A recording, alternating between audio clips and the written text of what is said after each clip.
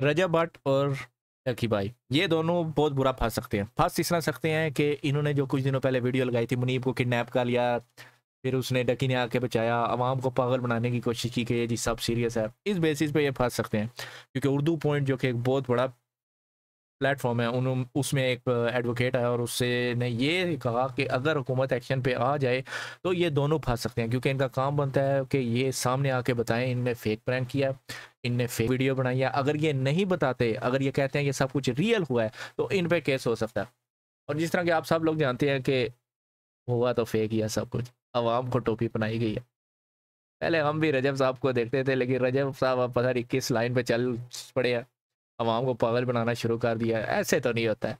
अब देखते हैं, अब मैंने देखा कि डकी की वीडियो में पहले डिस्क्लेमर नहीं था आ रहा। अब अगर आप डकी की वीडियो लगाए ना, वही वाली उस पर डिस्क्लेमर लगाया है।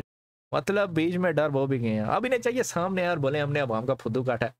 अगर ये सामने नहीं आते तो जिस दिन हुकूमत हरकत में आ गई एडवोकेट साहब ने कहा कि प्रोग्राम तो बढ़ गया।